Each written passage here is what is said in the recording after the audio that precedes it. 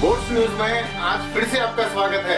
यदि आपने चैनल को सब्सक्राइब नहीं किया है तो सब्सक्राइब कर लें, बेल आइकॉन का बटन ज़रूर दबा दें।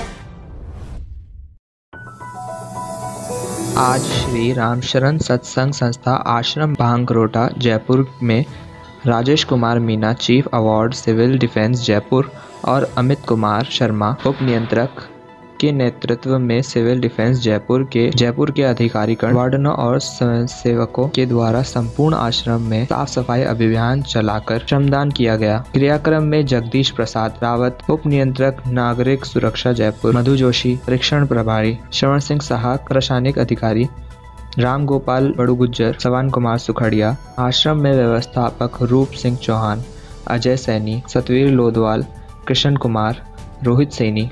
धर्मपाल चौधरी, देवीलाल कसौटिया, रामबली सिंह भदौरिया, उमा कुमावत, राम रतन सहित सैकड़ों स्वयंसेवक उपस्थित रहे।